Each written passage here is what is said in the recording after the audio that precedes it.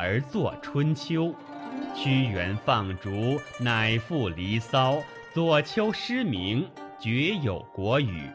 孙子鬓角，兵法修列，不为迁蜀，世传吕览。韩非求秦，睡难孤愤。诗三百篇，大抵圣贤发愤之所谓作也。此人皆亦有所欲竭，不得通其道，故述往事，思来者。乃如左丘无目，孙子断足，终不可用。退而论书策，以书其愤；死垂空文，以自宪。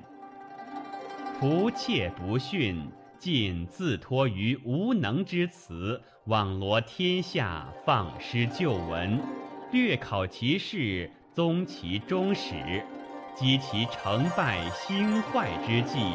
上记轩辕，下至于兹，为时表。本纪十二，书八章，世家三十，列传七十，凡百三十篇。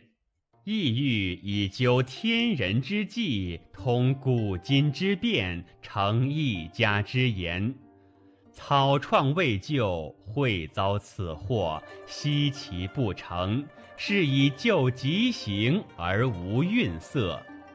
夫诚以著此书，藏之名山，传之其人，通义大都，则仆偿前辱之债，虽万倍禄，其有悔哉？然此可谓智者道，难为俗人言也。且腹下未易居，下流多谤议。夫以口语欲遭此祸，众为乡党所戮笑，以侮辱先人，以何面目复上父母之丘木乎？虽累百世，垢弥甚耳。